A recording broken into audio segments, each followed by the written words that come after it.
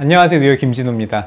오늘은 여자 헤어라인 모발 방향에 대해서 설명해 드린 영상이 있었어요. 근데 남자도 그래요. 그때 여자만 좀 보여드리니까 남자는 어떠냐고 또 물어보시는 분이 있어서 제 오른쪽 머리는 옆으로 나거든요.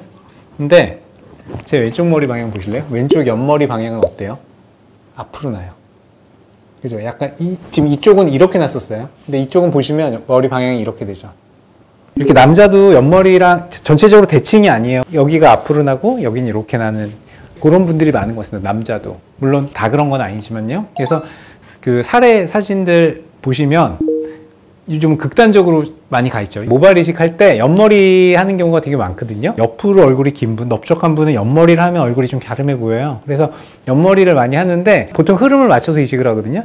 이쪽 이쪽이 많이 다, 더, 많이 달라지죠. 그러니까 조금 있을 때는 상관없는데 이제 앞으로 나오니까 눈에 띄어서 짝짝이처럼 보인다고 얘기할 때가 가끔 있는데 이게 흐름을 맞추기 때문에 그런 겁니다. 그래서 극단적인 경우가 지금 보여드린 사진에 이 분이 바로 그런 케이스죠. 마음에 드는데 조금 안 맞는 것 같다고 하셔서 제가 왜 그런지를 보여드렸습니다. 결을 똑같이 맞춰서 이식하면 기존 머리하고 결이 겹쳐서 조금 더 어색해 보이는 것 같아서 저는 가능하면은 원래 머리 모발에 맞추고 근데 조금 바꿨으면 좋겠다고 얘기하시는 분은 인위적으로 조금 바꾸기도 해요. 근데 이분은 제가 그냥 흐름에 맞춰서 이식을 했고 수술 전 설명을 아마 좀 정확하게 제가 요새는 잘 드리고 있지만 예전에는 좀 잘 못 드렸나 봐요. 그래서 조금 오해하셔서 설명을 드렸더니 웃으면서 들어가셨습니다.